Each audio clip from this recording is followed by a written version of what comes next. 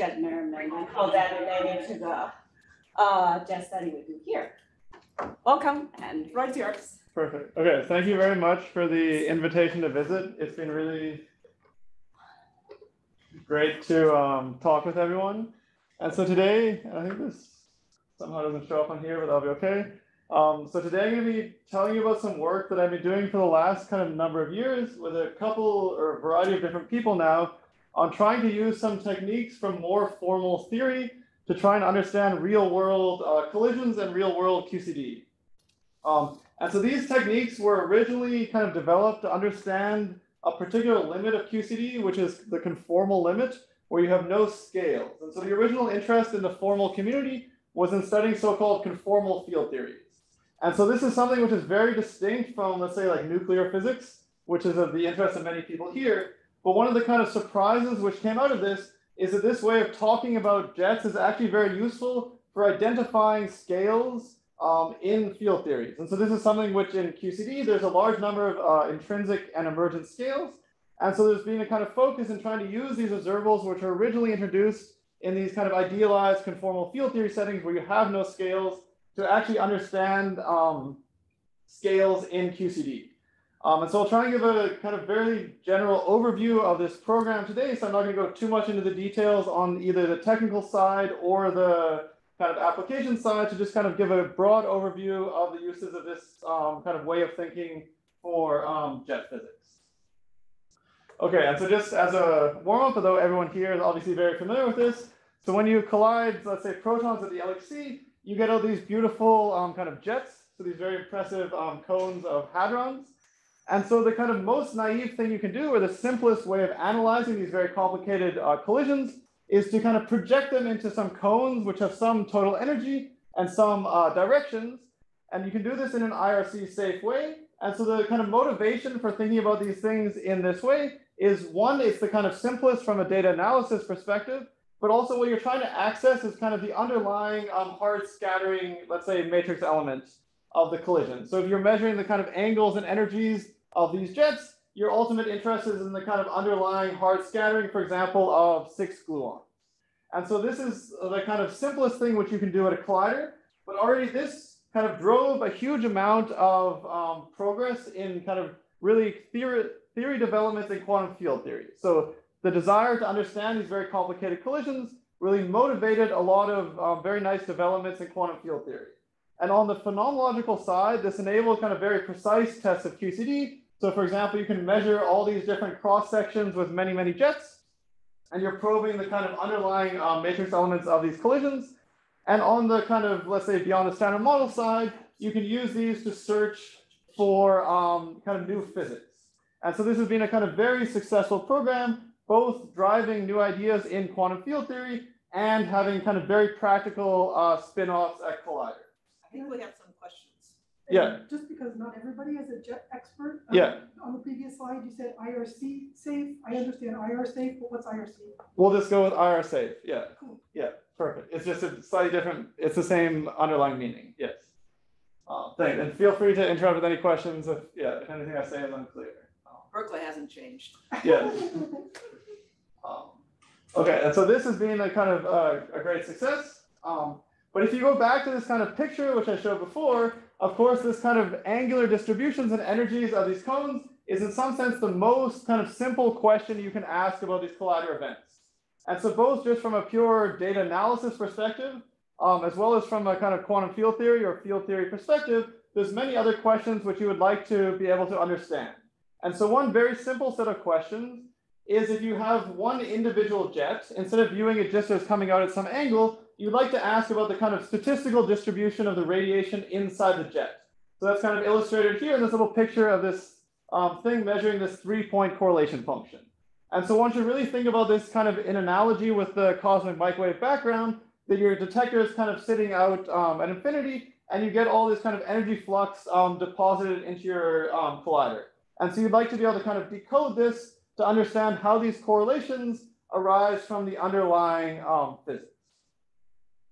And so the original motivation for this was kind of a very um, practical minded um, thing coming from the LHC, namely that if you are able to um, measure, for example, higher point correlation functions and detect or use them to detect um, kind of different things going on in your collisions, then this really allows you uh, a whole bunch of new ways, in particular qualitatively new ways, of studying physics at the LHC. So you could imagine, for instance, that you produce some new particle. So here's just um, some Z prime. It doesn't matter exactly what it is. But the point is that this just decays into some hadrons into your detector. And so if you're this experimentalist at infinity and you're just measuring these kind of patterns on your detector, there's no way just from measuring, for example, the angles or the kind of energies of these jets that you see anything. And so the only way that this object imprints its existence into the um, detectors in infinity is through kind of subtle correlations in the patterns of energy flux. And so what you'd like to be able to do is to design observables or to understand things well enough so you can understand that there's some kind of new particle which was hidden inside. And so this kind of really reinvigorated the study of kind of jets in QCD, and it's been an extremely um, powerful technique at the LHC. And so I won't go through um, any of the actual applications, but this is just one particular plot showing that it's something that is actually um, used at the LHC. And so this is um, something that is particularly of interest to the high energy uh, physics community. But for many people, let's say in nuclear physics, there's probably far more interesting questions than looking for a Z prime. And so in particular, imprinted in this kind of energy flux in infinity, you have some presumably answers to, let's say, how confinement uh, behaves, what is the nature of the quark gluon plasma. And in some sense, it's very similar, um, at least in spirit, to what is trying to be done in jet substructure. But instead of trying to find some kind of underlying particle, you really want to use this asymptotic flux of energy and infinity to kind of decode it to understand features of, let's say, the mechanism of confinement or detailed uh, properties of the quark gluon plasma. And so some of these techniques have started being kind of moving over from high energy physics to actually trying to ask even more detailed questions to really be able to learn about the kind of underlying mechanisms um, in QCD which produce this radiation at infinity. And so how should one kind of try and think about decoding um, these correlations? And so I said kind of a nice analogy to have in mind is the cosmic microwave background, or also um, condensed matter systems. So in many other areas of physics, one way of trying to kind of decode what's going on is to use correlation functions. And so these kind of um, characterize uh, your particular system and so again, in this um, cosmology, cosmological case, you've probably seen these plots of, for example, these two-point functions on the CMB, where what they're telling you is kind of how, um, or different physical scales, or where different physical scales are kind of imprinted into the CMB. And so as you change the kind of angular or distance scale, you're sensitive to um, different physics. And so you can then go further and start to measure, for example, higher point correlation functions which tell you more detailed properties of the interactions of the underlying system. So for example, in cosmology, you often measure, for example, a three-point correlation function, which is some form of non-Gaussianity, which is telling you some detailed property of how the underlying particles kind of interacted as they're going into the CMB.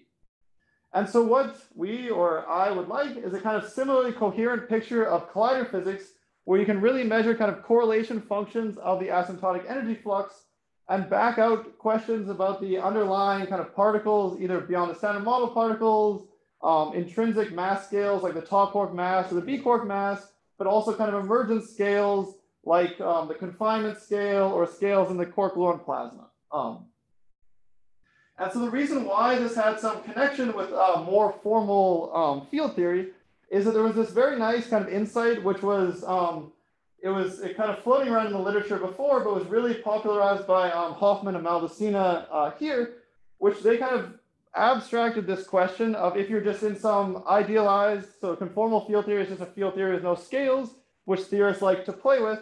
And so if you were in such a theory and you just wanted to ask questions of from a very abstract perspective in some ideal theory, how you decode these kind of correlations in the energy flux. And so they had this very nice um, insight that what you're doing is not measuring kind of correlation functions of standard operators, but instead you're measuring correlation functions of calorimeter cells, which is of course what experimentalists um, know, but that one can actually write down a kind of field theory definition of what is a calorimeter cell. And so instead of taking just, let's say, um, a stress tensor, you can take the stress tensor of your field theory and you can dot it into some particular direction, which means you're trying to measure the energy flux in that particular direction. Then you integrate over all time, which is kind of like you're just having your detector sit at infinity as a bunch of stuff uh, comes through it. and you move it off to infinity. And so that's just saying that from the perspective of QCD or something, your detector is way um, far away. And so you can really think about this object as um, a physical kind of calorimeter cell. So it's essentially like the quantum field theory version of a calorimeter cell. And so in this talk, I'll either draw them kind of like this. And so this is how you should think about them if this is the actual detector as really a point localized in some particular direction. But if you look at these, or if you're more a fan of looking at the kind of global structure in these kind of Penrose diagrams, then it's illustrated as these lines because you're kind of integrating over all time at asymptotic null infinity as the kind of radiation slowly goes through your detector. Oops. You have a question? Yeah. Actually, it's on a previous, previous slide, which I've been mulling over. Yeah, Non-Gaussianity. Yeah. You That and how they use it in cosmology? good. So I'll, I'll come back to the, I'll do this more precisely in QCD. But so one way to think about it is if, let's say you measured a three point correlation function, it will, or like a higher point correlation function. If it's non-Gaussian, it means that that higher point correlation function is not completely characterized by the two point function. So you should think about it like if I have like a Gaussian distribution, it's characterized just by like the the um, standard deviation. And so if I have a three point, I'll have like disconnected components, which are just like products of two point functions. And so the non-Gaussianity is like the three point function divided by the products of the two point functions. And so this would be exactly unity if there's no like non-trivial interactions um, between the particles. But if you have actual interactions, then it will be non-unit, not unity. In other contexts, one uses cumulants to, uh, Yeah, to so it's a to isolate high order. It's a very similar. It's just kind of a different language, but it's it's the same. It's it's a, Exactly the same. it's it's essentially you're just trying to isolate the um it's how one kind of likes in in this language to talk about it, but it's doing the same thing that isolating no- higher no underlying assumption of central limit theorem. No, no, no, no. Yeah. And here, like one has to def- like these non-Gaussianity is kind of used loosely. And so like when we do it, we'll have our particular definition for these energy fluxes, but it's kind of it's always some like essentially three-point function divided by products of lower things. Um, which is designed to be one in some limit and is trying to probe some interactions about those limits. Yeah, that's a very good question. Okay, um, and so the nice thing about this kind of definition is it kind of allows us to kind of phrase what is jet substructure from a kind of formal field theoretic perspective. Namely, you could just say to your formal field theory friend that jet substructure is the study of these kind of higher point correlation functions of these energy flow operators in some non-trivial state. And so that state could be a state of the LHC, some state of the gluon plasma, or something like that. Um, and we'll do different states uh, throughout this um, talk. And so this is very nice because you can start to use more formal field theory techniques to try and understand these complicated objects. Um, and that's kind of what we'll do uh, throughout the talk. And so just to kind of reinforce this point a little bit, because these objects are a little um, maybe unfamiliar to people. So people will definitely be familiar with um, amplitudes on this side. And so the reason why people like amplitudes in um, high energy physics or in collider experiments is because they have these asymptotic states which go out to infinity. And so the problem with that is that these are not IR finite. So here I've dropped the C. Uh, sorry for the slip up earlier. So these are not IR finite. And so that means you have to, so this underlying scattering of gluons is kind of a very nice theoretical object, but you then have to put in these cones in the experiment, which makes things a little bit um, more difficult to understand theoretically. On the other hand, people in like condensed matter like to study correlation functions of local operators. So you just have your kind of four correlators on your table and you do whatever you want to do with them. And so these are nice because these are perfectly well defined um, theoretically, so that they're IR finite, um, but they don't have asymptotic states. So they're not what you can actually do in a collider experiment. And so these energy correlators are kind of the best of both worlds. And you should think of them as kind of a combination of a correlation function and an amplitude. i.e. they're essentially taking correlation functions and moving them off to um, infinity. And so they're exactly what you want in an actual um, collider experiment. But aren't you still stuck with the cones? Because if you do these inside a jet, you have to first define a jet. That's a very good question. So in an ideal world, um, you could do it without the cone. So, so if you, in like a purely, from a purely theoretical perspective, you could do it without a cone. And so from a experimental perspective, it's much nicer to first use essentially the cone to trigger. But then the way we'll use them is to, we'll always be assuming that the correlators are kind of small or their angle is small compared to the cones. So that the cone is really being used as an auxiliary um, kind of thing to identify high energy jets um, from the perspective of these. Um, so there's in like an ideal, let's say you could just do E plus E minus colliders, then you could really just never talk about cones and just measure correlation functions. And they would really have this kind of mapping to the CMB. Because of the LHC or Hadron colliders in general are more complicated, it's nice to be able to kind of trigger on things. Um, but from the perspective that I'm pushing is that the jets are kind of an auxiliary and these are the, the primary. But one can But when you show some results. they're always inside um, jets, and so I, I am taking advantage of the fact that one can cluster in some high energy jet and use that to trigger, and then measure these inside jets. Yeah, yeah. No, that's a, that's a very good question. Um, and people can push either. I think there's some kind of middle ground where both are kind of useful depending on the particular questions. It just might mean that the comparison to what you guys can calculate from field theory has some uh, It- ranges where. It it ex- exactly, work. absolutely, absolutely. And in particular, so what I'll discuss here is mostly an expansion about the small angle limit. And this is the limit where one can have kind of universal behavior that will agree between like what we compute and the kind of experimental realities. If you want to look at these at like generic angles, that's when it's very sensitive to how exactly you're doing it. Um, yes, yeah. Are there are other kinds of uh, correlations of statistical nature, like one jettiness? Is there, can I, can I talk about this, the connection between this and those other sorts of observables? Yeah, so so something like one jettiness, I would say, is not a strict correlator. And so because it's so it can be expanded over these correlation functions. But if you try and expand it, you actually need an infinite number of these correlation functions. And so these objects are in some sense simpler than like one jettiness. Um, and they're like a strict correlation function. And so that's what actually makes them much easier to compute and to understand. And so part of the thing that or we're trying to kind of push is to talk about things purely in terms of these correlation functions and less in terms of those, and I'll come back to this in a second, less in terms of like jet shape observables. Uh, because one jettiness is kind of constraining the shape of a jet. And so if I have one jet, I get kind of one number. Whereas here, if I have one jet, I get all these kind of pairs of correlations, which I ensemble over. And so I can no, I can no longer associate like a jet to a number, or I can't say like a jet has some shape measure. And so it's a slightly different phrase in the question, which makes it, I think, easier to interpret. Um, Well, but when- when jettiness on one jet is not very useful, you want it, you want a distribution over population. But yes, yes, but but what but the question but you're the way you're doing that distribution it, it's like a you can either have like for each jet so for these observables for each jet you get a distribution and then you ensemble average over distribution. Whereas for one jettiness for each jet you get a number and then you measure many of those numbers to get a distribution so it's kind of like two ways of getting a final smooth distribution and our claim is that from the theory perspective, this way is much easier to talk about than the like n-jettiness way. Um, um, yes.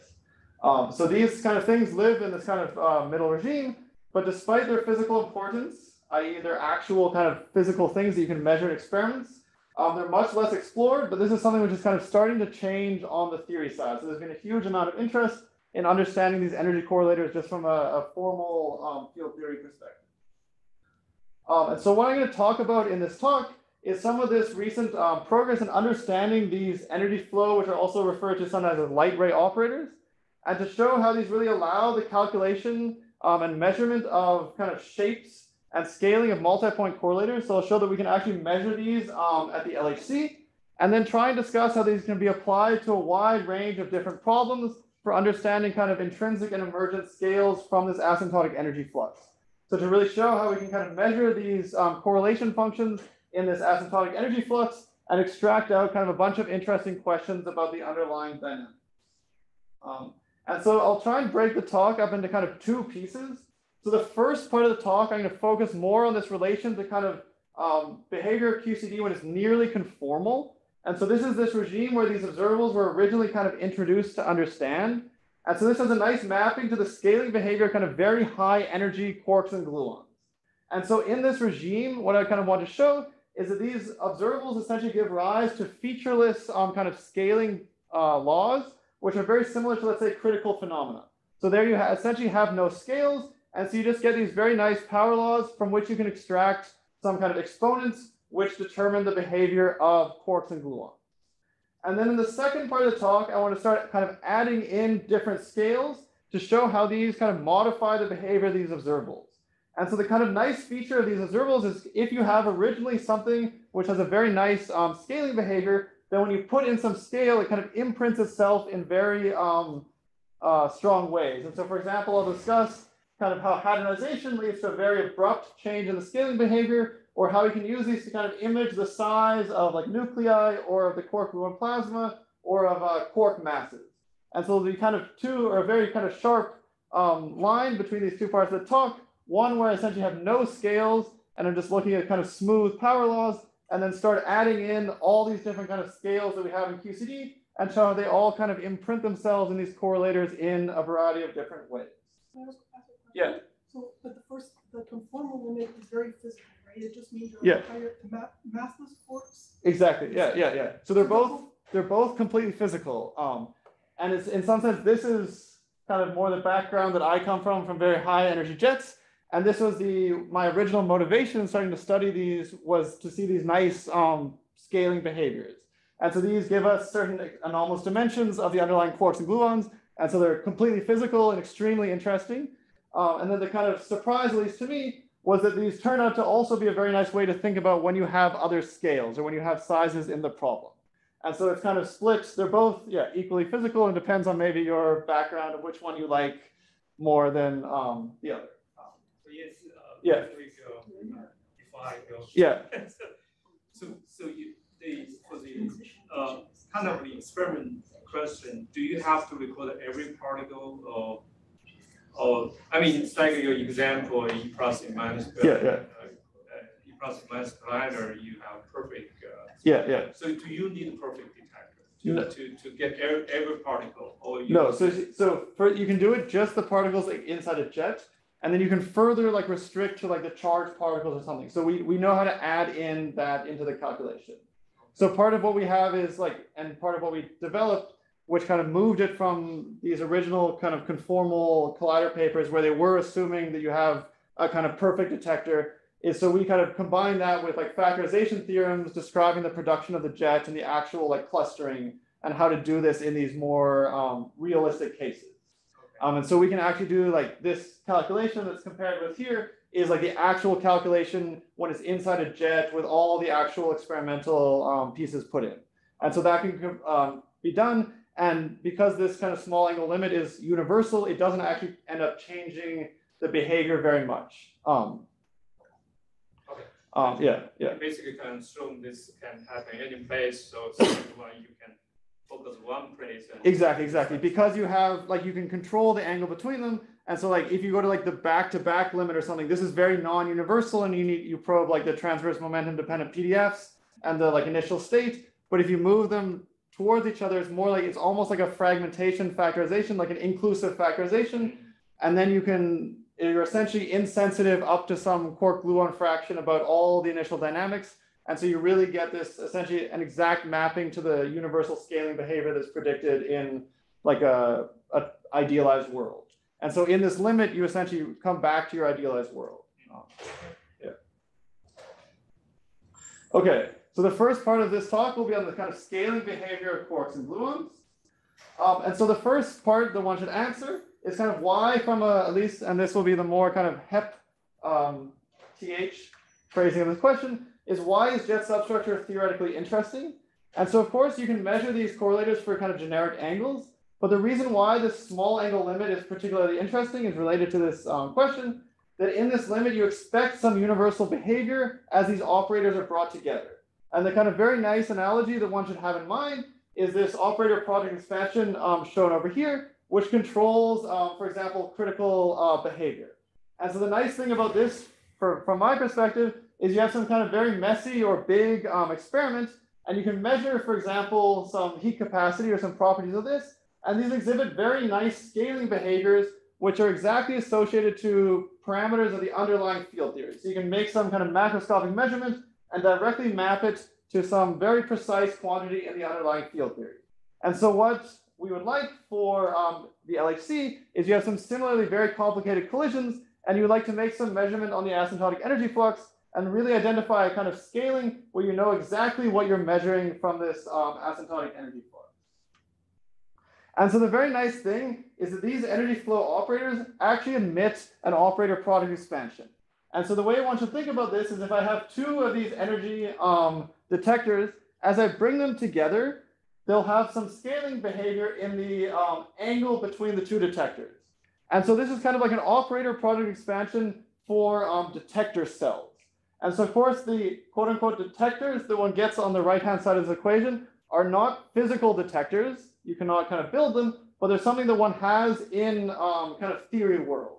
And so what they are is kind of detectors which detect some more general state other than just um, energy flux. And so the exact form of this formula doesn't really matter. The important thing is just that it predicts the scaling behavior as these two operators are um, moved together and apart um, in terms of some parameters of the underlying theory. So one knows exactly if you measure, for example, a two-point correlator, you know exactly what you're measuring on this side.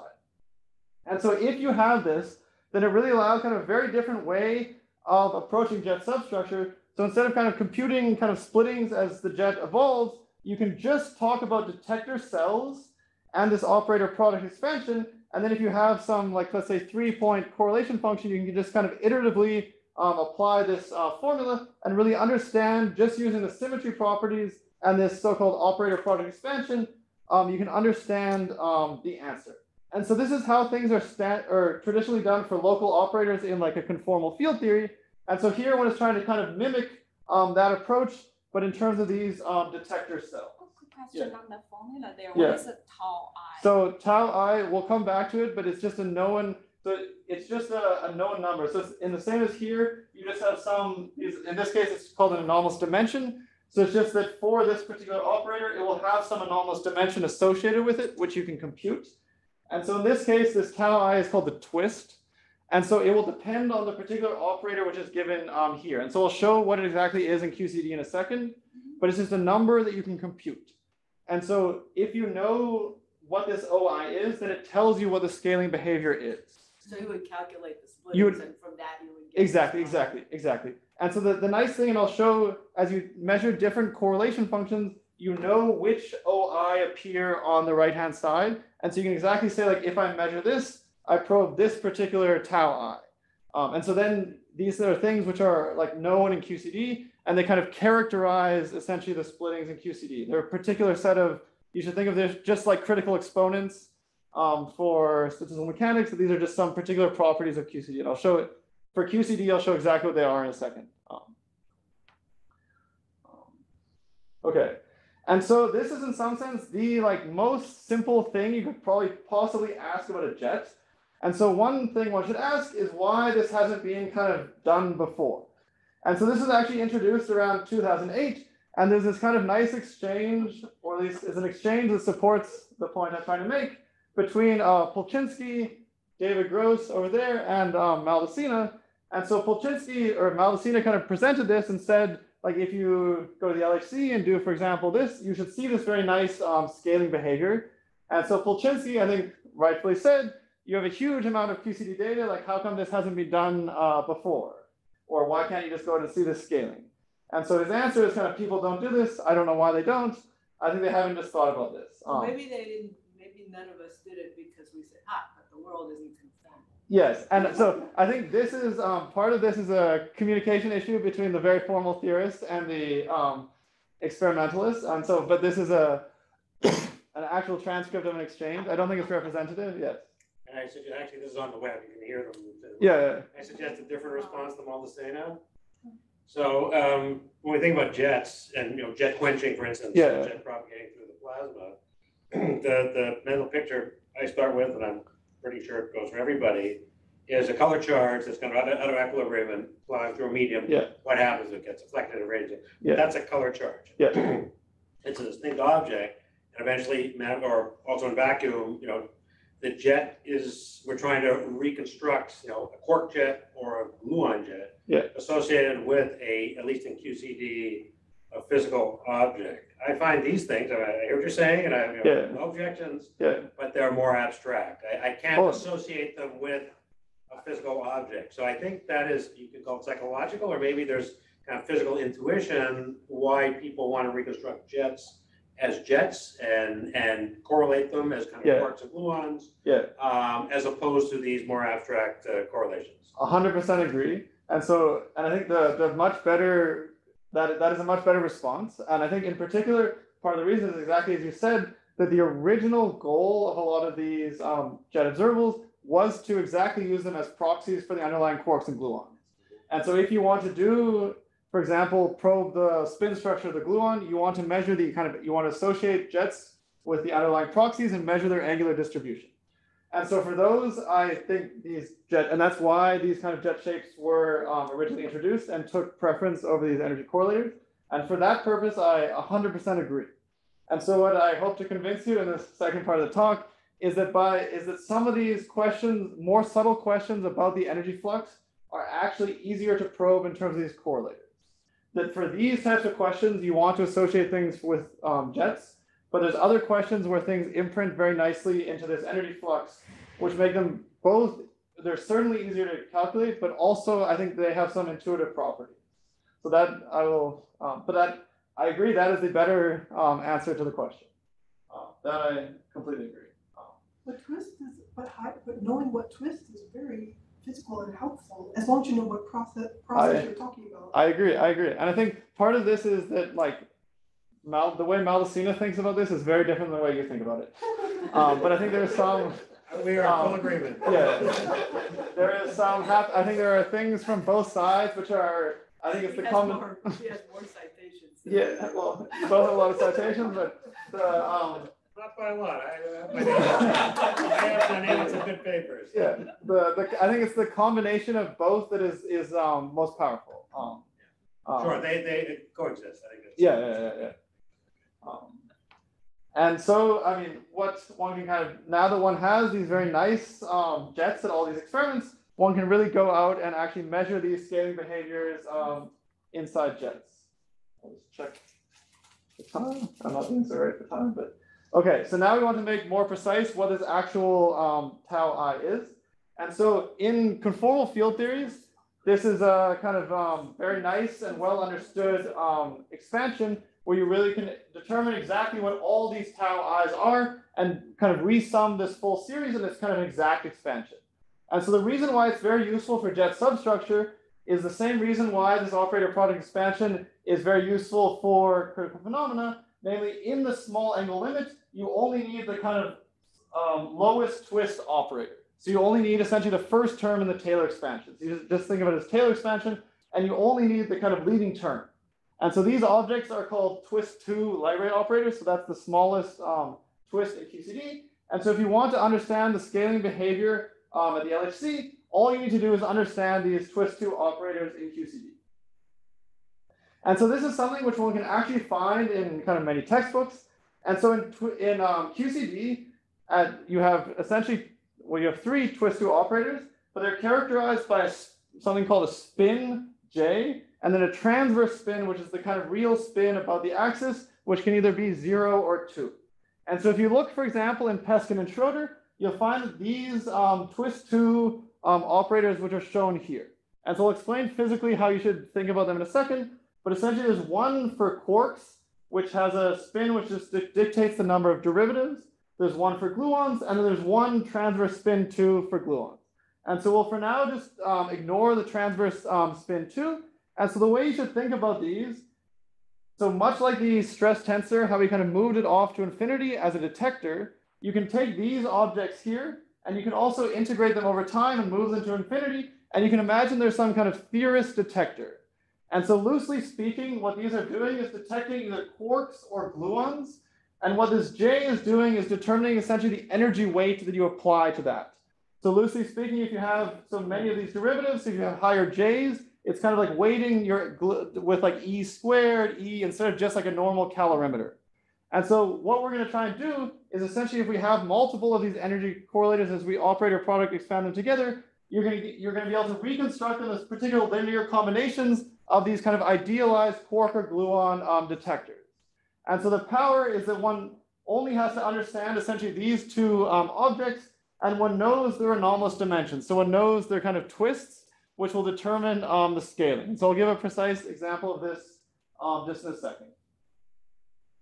And so this is just um, to say that, or related to the question earlier, that if you really do this at the LHC, you're not doing this in a kind of fully inclusive um, um, way. And so to actually embed this inside, for example, high energy jets, and to take into account like the jet radius and all of this, you actually have to derive kind of a factorization theorem. And I'm not going to kind of go through the details of this, but just to say that it can be done properly. And so I'll kind of describe it in this idealized way. But whenever I'll show any actual calculations, they'll be done properly embedded in some actual real jet um, at the LHC.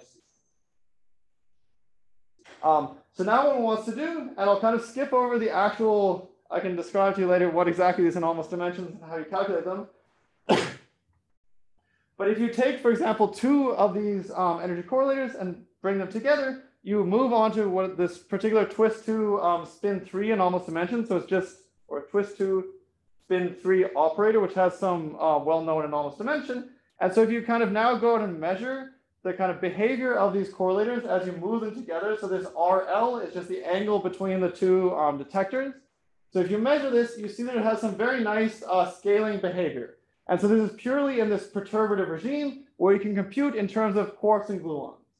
And so this is a comparison of actual um, open data from the LHC with our um, perturbative calculation. And so you can see that this exhibits this very nice um, power law scaling behavior as these objects are brought together. And this is really probing a kind of well-known or well-understood anomalous dimension in the field theory. And again, I like to have this analogy with these kind of measurements of, for example, superfluid helium, where here you're really measuring some very complicated collision of the LHC, and you haven't had to do any kind of cleaning of the event or anything. It's just that if you ask the kind of nice question, you get out this kind of beautiful scaling behavior extracted from the asymptotic energy flux.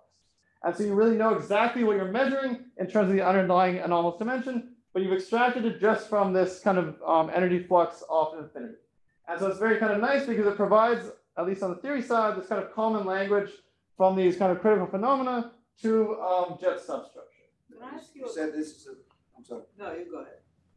is this, a- you said this is a perturbative calculation. This is the perturbative, this is a perturbative calculation, yes. And uh, in this case, you just, uh, the perturbative means that you just let the, the, the jet, uh, uh, you know, radiate and shower, uh, So this is actual, so on the, yeah, so this is like real data, so it's full like hadron level know that, data, yeah. calculation you've done. It's just like in perturbative QCD. So we just computed it in terms of quarks and gluons, um, a different perturbative order. So we've added like no hadronization corrections or anything. It's just like a next leading log perturbative calculation.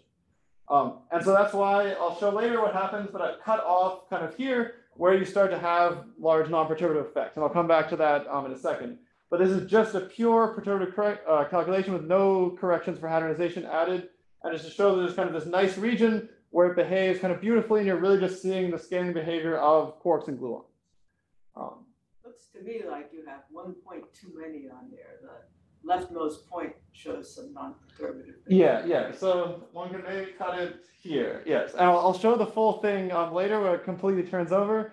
And so, yeah, I could even cut it maybe a bit lower. There's, there's a smooth, there's a smooth transition, which is very interesting to understand. Um, uh, but yes, it starts to deviate there, and I'll show in a second. It deviates very strongly at slightly below where I cut it off. Yes. Um, okay, and so just to kind of highlight one very nice thing, which one can do with this light ray or this operator product expansion, which is very difficult with standard perturbative approaches, is you can actually um, measure the kind of whole spectrum of all these different anomalous dimensions or the different kind of operators which are determining the structure of the jet. And so one way of imagining this is you can measure higher point correlation functions. So in this, it's illustrated as kind of a three point correlation function. And you can try and understand how this depends on the overall size of the like three point correlation function. And so because of quantum corrections, this will have some scaling anomalous dimension as you kind of make the triangle bigger or smaller. And so to remove any classical piece, you can normalize to the two point correlator. And so this object in the classical theory would be completely flat. And so in the quantum theory, these objects, so this generic OJ and this O3, have different kind of anomalous dimensions or different critical exponents. And so now as you change the kind of size of like the three point relative to the two point, you'll see some um, deviation or some scaling behavior as a function of size. And so this is shown here, again, the open data compared to the perturbative calculation for the kind of six point over the two point, the five point, the four point, and the three point. And so each of these is probing excuse me, these different operators here. Um, and so each has a different critical exponent. And so by kind of asking these slightly different questions about the energy flux, you're really kind of able to see the spectrum of these different anomalous dimensions, which are controlling the formation of the underlying jets, which again is, is quite pleasing that one has this very sharp um, answer to what exactly you're measuring. Um, and so now one can try and go beyond just this scaling behavior. So I'll just kind of say one more thing about kind of massless um, QCD jets and then start um, adding in some scale. So these kind of scaling behaviors are of course nice, but they're only probing kind of this one anomalous dimension or these kind of particular anomalous dimensions in your theory. And so if you want to kind of start asking more detailed questions, what you want to probe are like higher point, for example, three point correlation functions. So these now can do more than just change as a function of size, but you can measure the kind of shape dependence or the dependence of this on the shape of that triangle. And so this is something that is commonly done in cosmology, and we would like to do a kind of similar thing and measure higher point functions of energy flux. And so I won't go through the kind of details of the calculation, but up here is kind of a formula for what the actual answer looks like um, in some n equals 4, but you can do it in QCD as well. And so they have some very nice um, theoretical properties. So you can actually compute how the kind of cross section that you measure depends on the shape of the correlators. And so this becomes a little bit harder to visualize because you now have to, um, you now have kind of multiple parameters. But so what this is showing here is on some open data. So we have fixed the size, the overall size of the triangle, or you can think of like fixing the base. And then you can change the shape of the triangle. So for example, up here is an equilateral triangle. Down here, this parameter is kind of the angle of the um, this side of the triangle. And up here is kind of like a flattened limit where you squeeze it down. So this is just some parameterization. It takes a while to um, get used to it, but it's just the shape or the cross section is a function of the shape of the triangle. And the units don't matter. The units don't matter because I've scaled out an overall size. So now it's just um, for a fixed size. So this would look different at different sizes, but for a fixed size, this is just the, um, these are like dimensionless parameters controlling the shape of the triangle. Yeah. Um, and this is the like kind of open data. And then on the right is our kind of analytic calculation of this object. And Is the, the Q the difference from what you would expect from the two particle, the, the two point? exactly. So this is like the Q is the like three point normalized to the product of two points. Exactly, exactly. So this is this like kind of non-Gaussianity. Um, um, and so this kind of shows that one has, you can actually like both kind of measure in quotation marks for the open data and um, compute these higher point correlation functions, which are really telling you kind of very detailed features of the energy flux um, within jets. So they're um, kind of describing like multiple splittings um, and how these are correlated, um, which is nice. Okay, so that first part is purely in kind of perturbative QCD. So you just have quarks and gluons, and we can use these kind of very nice um, techniques to understand them. And it's in some sense more similar to what these observables were originally um, uh, defined for. And so the kind of surprise, as I said, was that these actually turn out to be a very nice way of identifying, and I hope to argue here, an actual very intuitive way of um, identifying physical scales which exhibit in the problem. Um, so Excuse me, I have a question here on Zoom. Okay. Um, so it's about the previous slide. Yeah. So um, in the comparison to cosmology, you said Yeah. that non-Gaussianities can help us understand uh, different models of inflation. yeah, yeah, uh, yeah. In the context of QCD, what do we learn about from non- non-Gaussianities? What properties of QCD do we learn? Yeah, so that's a that's a very good question. So if one takes QCD as known, then this is just something I one can compute. And the way I want to kind of view this is kind of like a baseline. So later, what I what I want to do is to add something additional in. So for the three point correlator, what I'll do later is add in like a top quark and show how that imprints itself as some kind of very different um, shape. And so you, this is kind of showing that one in some sense has control of the base. And then you can add something which modifies, just like how you modify models of inflation, you want to modify by sticking in some additional um, kind of object or some fancier thing, like let's say the QGP or some nucleus in and see how it modifies um, this. So I say this is more just showing in a nice way that we have control over um, perturbative QCD. Thank you, thank you. So you, you will use these uh, non-Gaussianities to understand scales will- in the second part of the talk. I will start in that direction. Okay, so that's the you. kind of I will hope to convince you that you can start seeing things imprinted in this. I'll show I'll show an example of the top quark on the three-point correlation function. But the kind of broader goal is that in the first part is kind of more like calibrating these objects and showing that we understand them in massless QCD. And then what we want to do is to start sticking in scales and essentially showing how those modify things. And so this is something which is kind of in progress, but I hope to convince you that it's a way of um, of kind of understanding things. Um, and so very much related, or hopefully this will further kind of address your question. So the bottom of this slide is kind of the massless um, scaling and the massless non-Gaussianity. But of course, QCD is a kind of much richer theory than just this. And so what one can start to do is to add in different features in QCD. So for example, here one has uh, kind of a nucleus, a top quark, a bottom quark, hadronization, the quark gluon plasma. And what I want to show is that each of these imprints itself in some particular way onto the structure of these correlation functions. And so I hope to convince you that this gives a kind of very common way of talking about um, like very different systems, all the way from the time scale of kind of top quarks to um, large nuclei, and they all imprint themselves in particular characteristic ways onto these correlation functions. And then uh, related to your question, they will modify this, them in some way, which then tells you about that underlying um, system. And so sorry that I'm running a bit. Um, so how much time do I have? 10 minutes? Um, I, Longer, right? yeah, I think you You can. started late. We Okay. started a bit late, I'll so try and- maybe yeah. twenty more minutes. Okay, perfect. Okay. You not, you want another coffee? Um, I wouldn't mind, but yeah, I can, I'll, I'll wait till after. Um, so what I'm gonna do is to kind of step through a bunch of um, these kind of different systems and essentially to show how when one adds some additional feature beyond just kind of massless QCD, how it imprints itself in a very kind of intuitive way into these um, correlators. So the first thing that one would like to is in some sense the most basic addition because you're not really doing anything um, other than not cutting off the plot on the left-hand side, is that in QCD, it obviously becomes very non-conformal at some point. Namely, you have some tran- transition from weakly coupled quarks and gluons to essentially freely propagating hadrons moving off into your detector. And so what one would like to see is how this is directly imprinted in the correlator. And because the correlator is really isolating the dynamics at some particular um, scale, you expect that you should just see the kind of confinement scale imprinted very cleanly at some particular scale.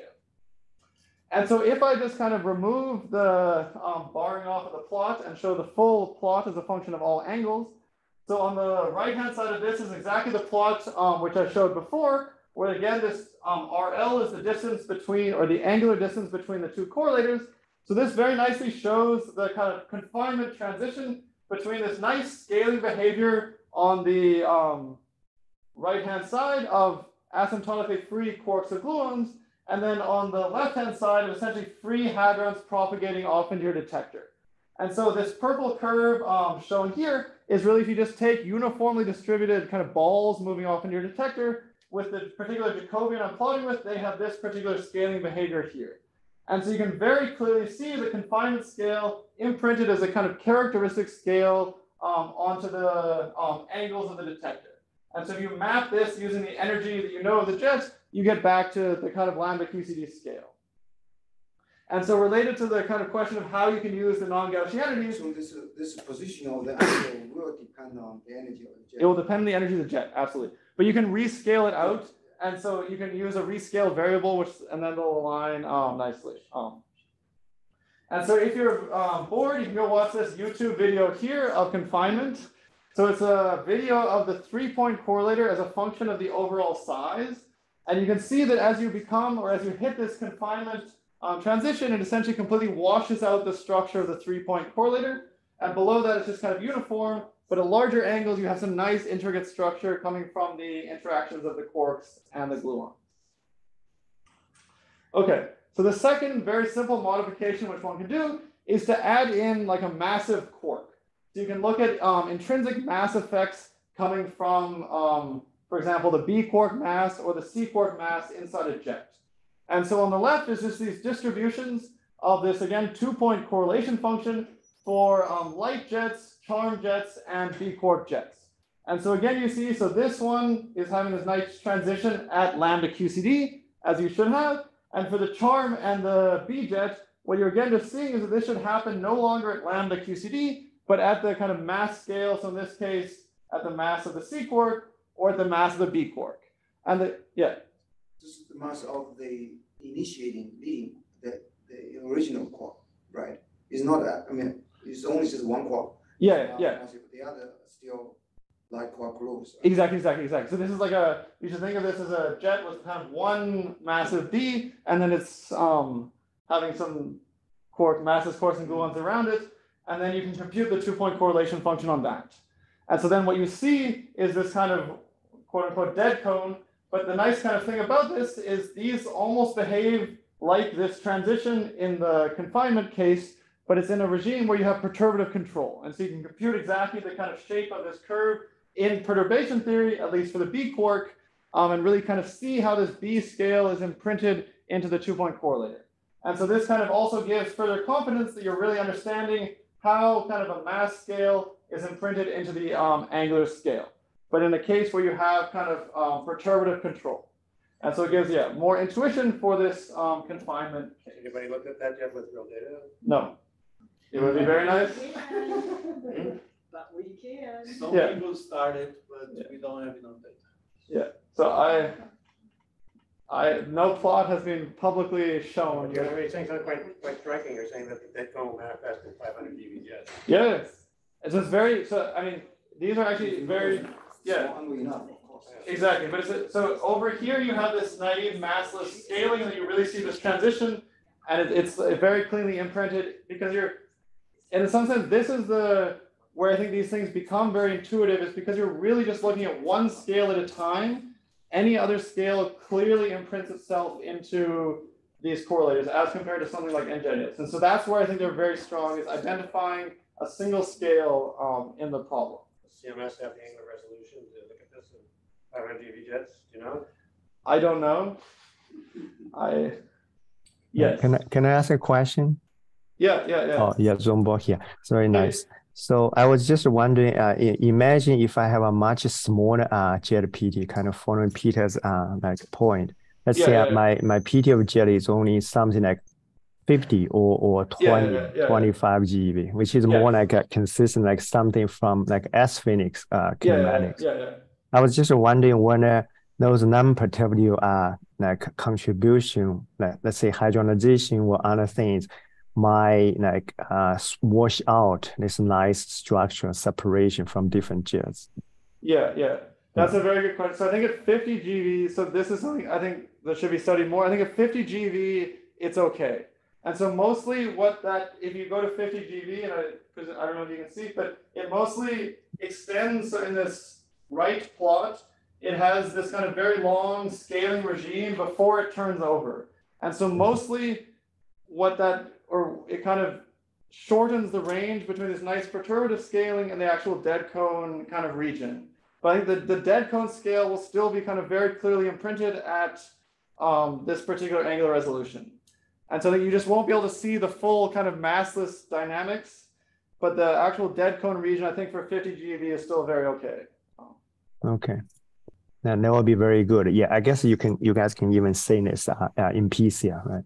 To Yeah, it. you- yeah, yeah. Right. So yeah, and and yes. So for 50, I think it's okay. If you go down to like 10 or something, it's getting a bit more iffy. Um, Right. Okay, great. Thanks. yeah. Only one way to find out. Yeah, yeah, no, and it would be very interesting to to know, or to see this plot in data would be extremely nice. Um, uh, and in particular, comparing the shape of these or the detailed shape of these for confinement, because confinement is obviously a more complicated process than just sticking in a mass. And so the fact in some sense that these are so similar is is very um, surprising, at least to me, where this is like a simple, just adding a perturbative mass and it gives almost the same shape as the full dynamics of confinement. The difference between left and right is uh, one simulation, one particular. Or this is just using a different Jacobian kind of zoomed in on this um, particular region, but it's, yeah, this is pure simulation and this is both the simulation and the calculation, but it's, it's mostly just they're plotted in two different ways, like a log and non-log. yeah. Is surprising or alarming?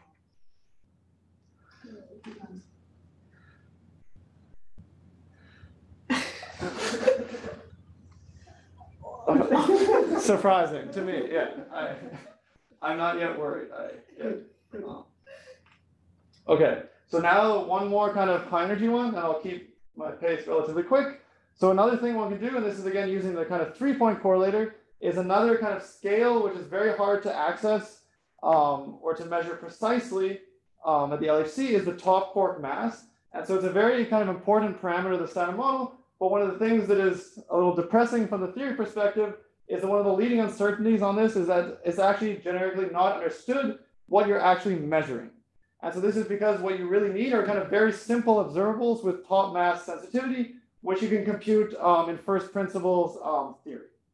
And so again, it's this kind of same story that if you have some top quark, even though it lives only for a very kind of short time, it imprints itself into your correlation functions um, at infinity. And so just like the B quark, it has some associated scale, and you can measure the kind of three-point correlation function, since the top decays primarily into kind of three little subjets. And so this kind of existence of the top quark will imprint itself as a kind of peak at the scale of m squared over q squared or m squared over pt squared. And so this is just kind of a simulation um, shown here for a fixed kind of equilateral triangle of these correlators for different values of the top mass that you see this kind of imprinted in a very sharp um, peak, um, which depends um, quite sensitively on the underlying um, top quark. And so our hope is that this can actually be used, for example, for a um, top mass extraction at the LHC from jet substructure. And again, this kind of motivates further understanding the kind of mathematical structure of these higher point correlation functions. But again, the thing that I think is nice is these are all phrased in the kind of same language as these objects just imprinting themselves in particular structures in the correlation function. And so now in the last five minutes, and I'm sorry I've gone a bit over time, I'll move on to the actual more kind of um, nuclear um, oriented um, applications.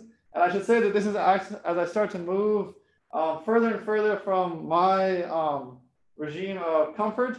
And so these are things which I've um, have very excellent collaborators on all of them. And so in particular for this QGP, um, I want to highlight um, Carlota um, Andres Fabio Dominguez and Jack Holguin, who really did all the kind of calculations on the um, QGP um, side. And so there's people here that are much more experts on the actual QGP than myself. And so this is just meant to kind of highlight how these energy correlators can be used to think about questions of the QGP and to motivate kind of further questions in that direction. Um, so again, I don't need to say this um, to people here, but one Obviously, one thing one would like to understand is kind of how you can extract detailed parameters of the QGP um, from the asymptotic energy flux. And so again, from a very simplistic um, theorist perspective, essentially what one is doing is just kind of shooting a quark or gluon through some little blob of um, QGP, and this is imprinting itself into the energy flux in infinity. And so again, the kind of nice thing about these correlators is because you can tune the scale, you believe that this is sensitive to dynamics at a particular scale inside the QGP.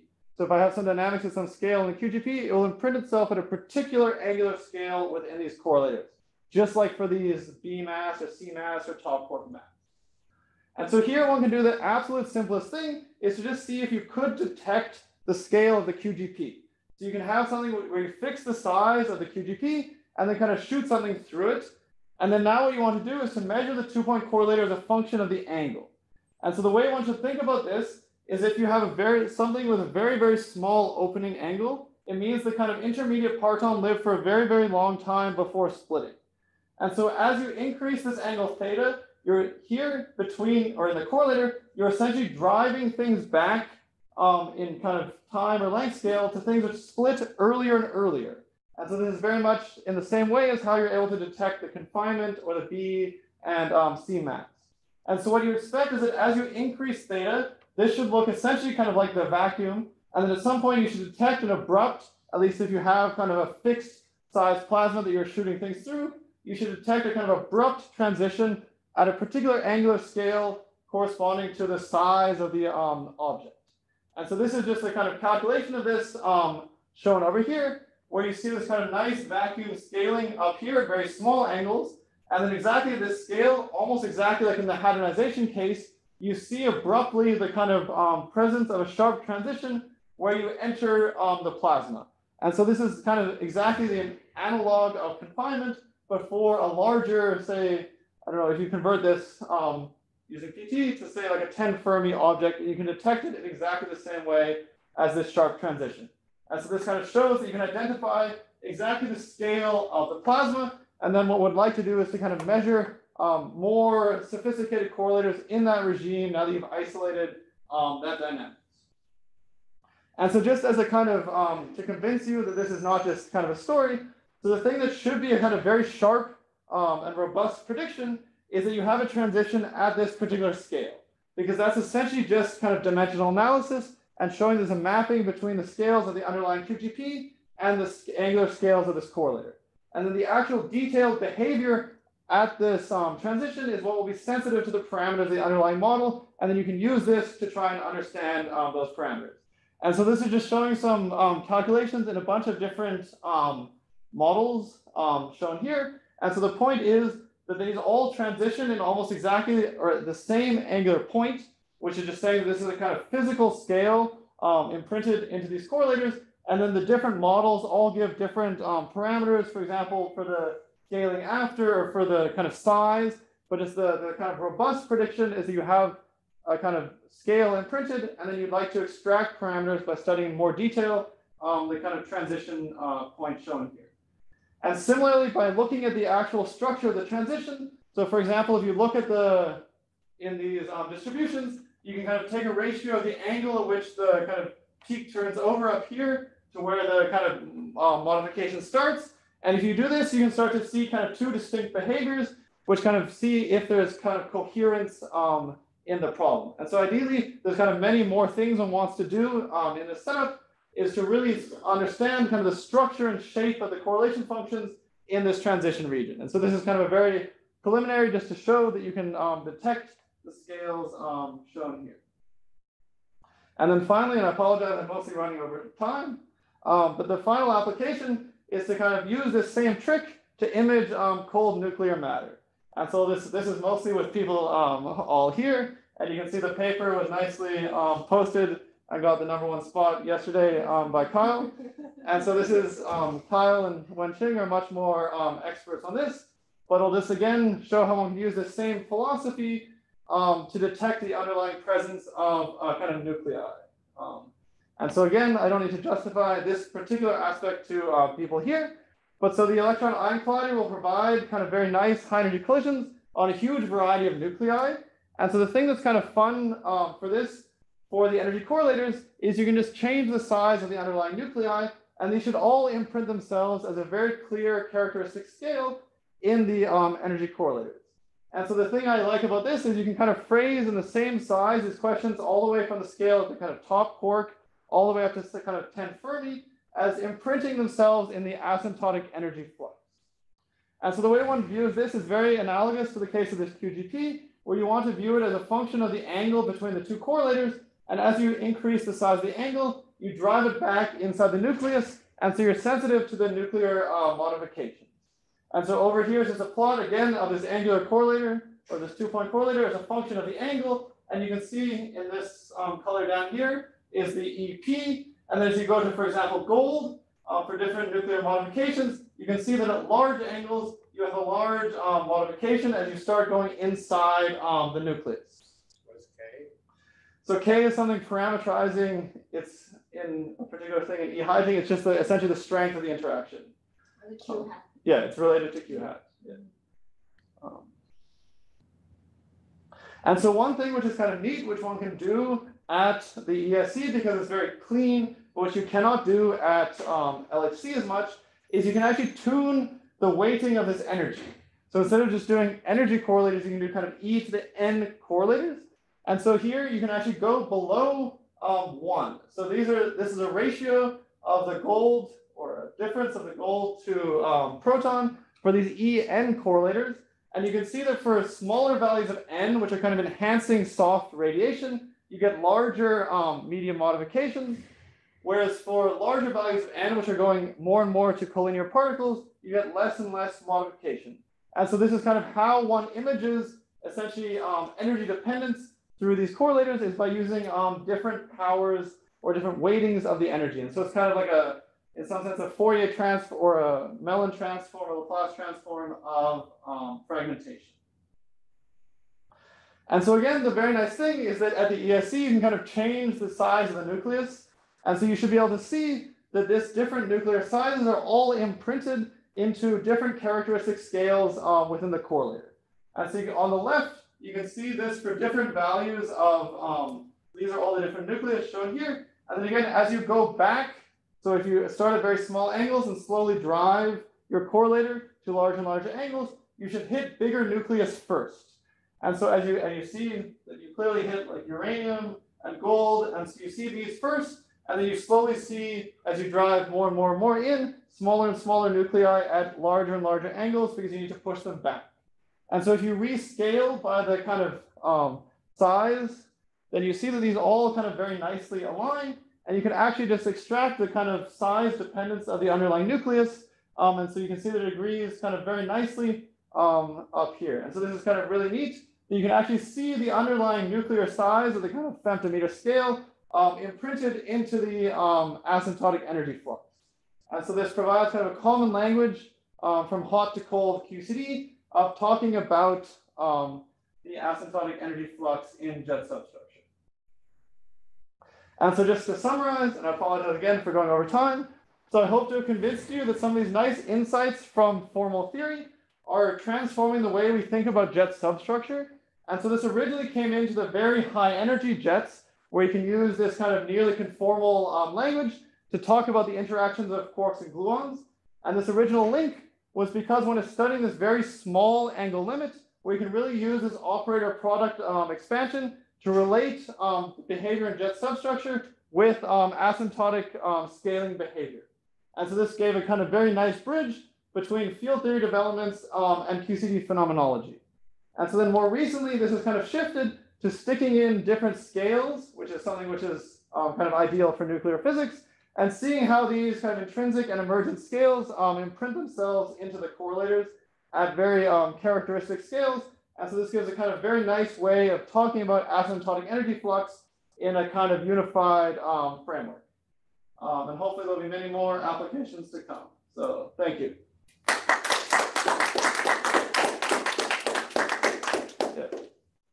Well, that last calculation that, uh, that you guys did, very interesting, actually, I saw it last night, so it's primed for it. Um, there was a, so this is, this is sort of energy loss interactions in the, in the cold QCD. The recent paper by, uh, Xiaowei Liu and Fang and Company. Yeah, yeah. Um, actually looking at kind of initial state, color glass Yeah, yeah, yeah.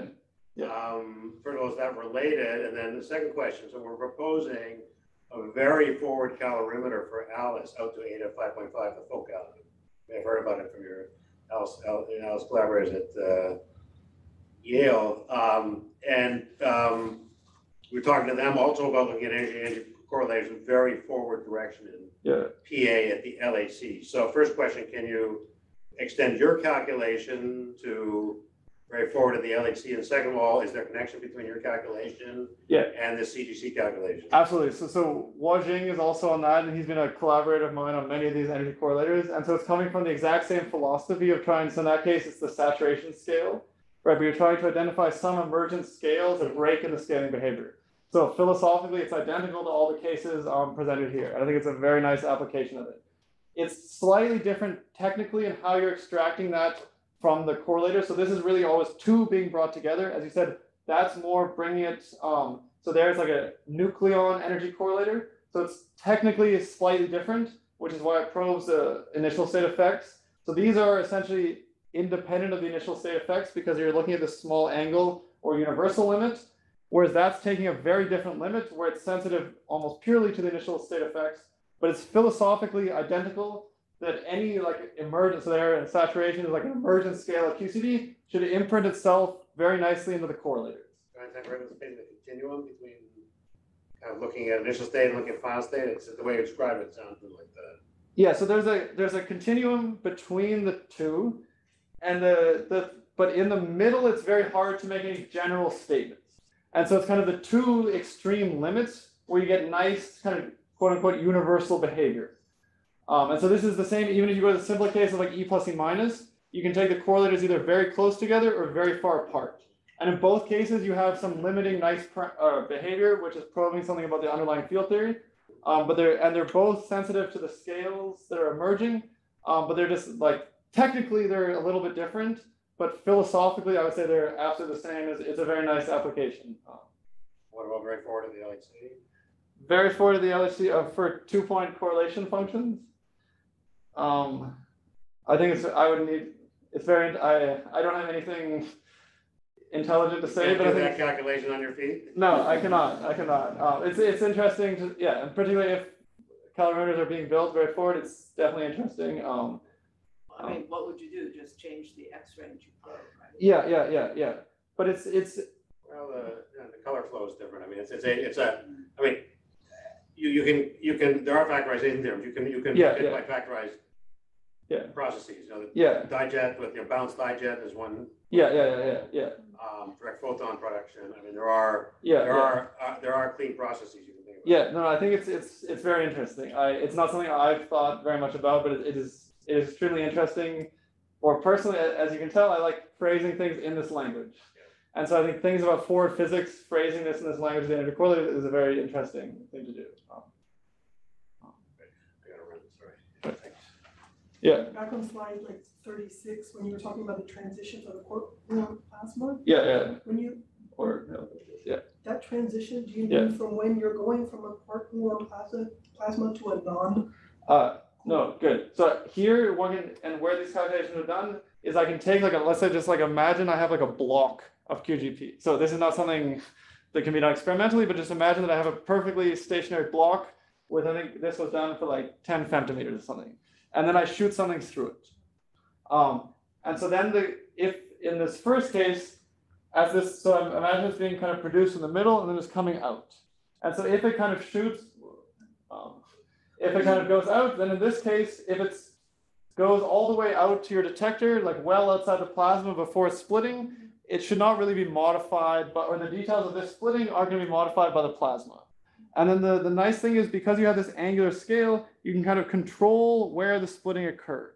So you kind of have like a parameter or like a scale, and that's the reason why it's nice probing scales is because you essentially have some scale to compare to. I can't read the red, so. Yeah, sorry, When the so- splitting is earlier, does that come at larger log? Good. Yeah. So the way you should think about it is the lifetime of this particle, and sorry, it's yeah, goes like one over the angle squared. So if the angle is very small, it means it propagated very far and then just split. And so then as you increase the angle of the theta, you're shortening the lifetime of the intermediate particle and kind of driving it back into the plasma. Um, and so this is what I mean is whether you see the plasma or not, is essentially if the splitting, or it's kind of you should think about it, is the like size of this plasma at the same si- size as the angle, or is it bigger or smaller? And so if it's if the angle is much smaller, it's very small, you just don't see the plasmas there. So it's like you can kind of expand in like one over um, that thing. And then once they're comparable, you see something abrupt happen. And then over here, you go into some, again, some scaling regime where the splitting is like deep inside the plasma. So that just means the plasma looks like infinitely big to you. Um, and then there's like this kind of region here where you're like right at the, you're sensitive to kind of the size of the plasma. You're like right at the size. And so in all these things, what you're kind of doing is comparing the angular scale to whatever scale, like top quark mass, B quark. You're always just comparing like some scale to the angular scale. And then you just kind of sweep the angular scale and you see something at some particular size. Okay, so in slide, in slide thirty-two, this is related to what you just said.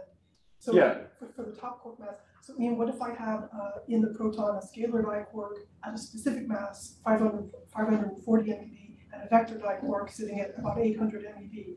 Could, could, and of course, they're gonna be, whatever you see in the detector is gonna be correlated because they came from the same diquark parent. Yes. Could, could you find those guys using the same n, n squared over q squared?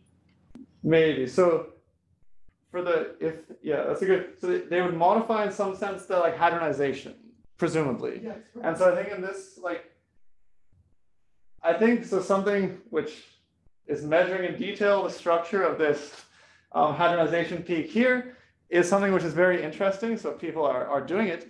Um, and there, presumably, if you have some different model for um, what's going on inside the proton, that should imprint itself at this scale here and kind of how they combine. Because I think it's hard, that's my guess for where it would kind of appear. At the hadronization scale. at the hadronization or kind of as because this is kind of sensitive or in this let's say like maybe in this like B quark. So here you're kind of seeing like the scale or how kind of these things kind of form together into the hadron. And so if you change the model of hadronization, you will change the shape of this green peak here. Um, Yeah, but I don't think I'm changing the, the model of hadronization, I'm just saying what you started with. Or hadronization starts, I mean, it begins at the same place, yeah, but what you started with is something different, it's not, it's two quarks that were bound together in a diquark. okay. And so they're gonna have some kind of relation, I don't think they should change I whole where hadronization Okay, starts. okay, good, good. So they may not, let's say I don't change where hadronization starts, Yeah. but I expect that I would change the shape of this peak in that region. Uh, Would be my, and that's, this is related to your question about whether it's surprising or not surprising, or that the, if I just compute this with like a perturbative B quark as a mass, that it's so similar in shape to the hadronization. And my guess is that in the real world, that's probably not exactly true. If you measure higher point correlation functions, you should somehow be able to disentangle that. Um, but my guess is that like if you say something different is inside the or like diquark, this will it has to change something about the hadronization process. And so one wants to measure some form of two point or higher point correlation functions and measure the detailed shape in the region where they're kind of combining together into the proton would be my um but I think what this exact shape means is kind of yeah not so well explored. Um, but yeah, it's a good question. Yeah. The question on, online. Online. Or do you want to unmute and ask?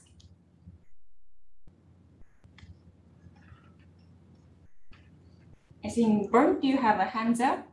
Do you want to just unmute and ask? Yes, Yeah, hello. Um, Ian, thanks. Very, very interesting um, and clear talk. Thank you. I have two fairly simple questions. Sure. um, maybe. The first one is about the vacuum um, energy correlator.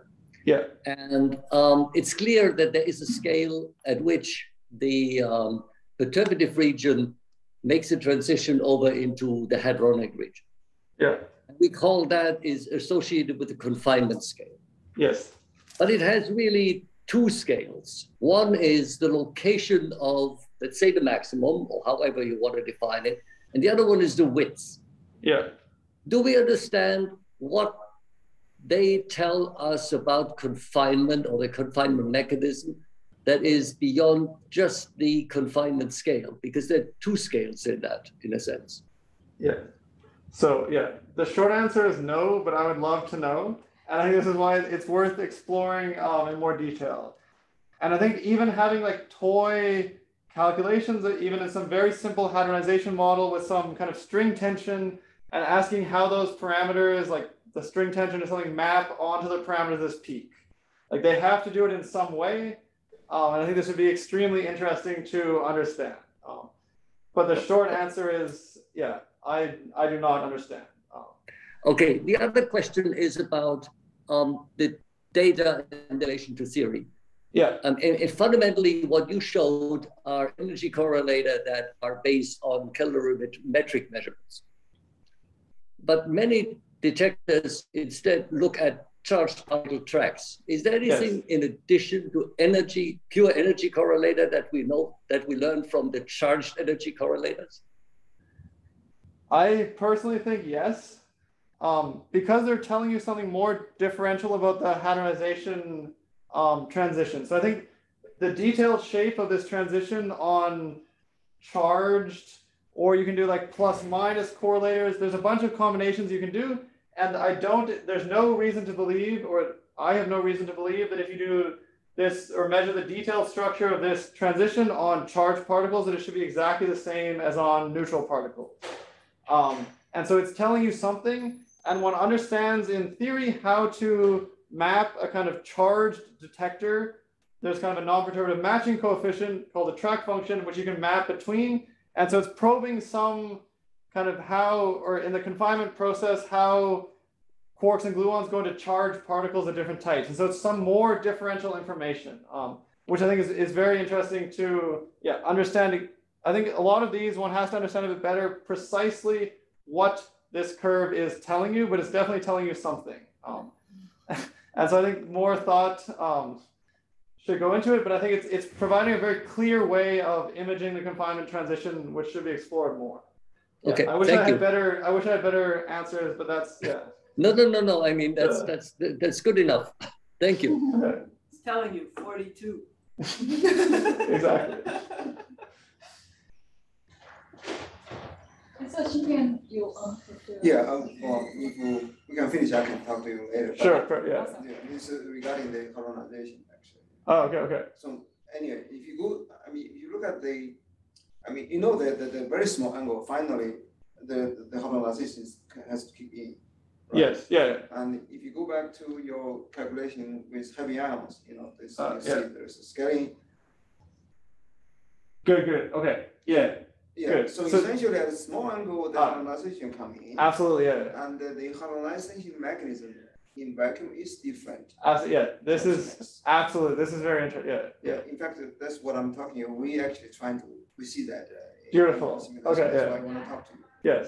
So you will be, able. so eventually you will be able to see Yeah. the difference. So the, the, the vacuum one versus the heavy ion one at the small angle, Yeah. they will diverge. Yeah, no, that- that's beautiful. Yes, I would, I will be very glad to talk to you. Yeah. So this is, this, this calculation here, as you, or as you know, is just a perturbative, so that's why it just it's- keeps you- going you- up, yeah. You, you, you don't have. Exactly, yeah, exactly. So we were just focused on this region, but yeah. That's, if, that's be- absolutely beautiful, and I Yeah. would love to see your plots, yeah. Um, So, you know, that, that's very nice, yeah. Great. So any more questions from online person? I think we had a very nice and long discussion already. Okay, now say thank you again and uh,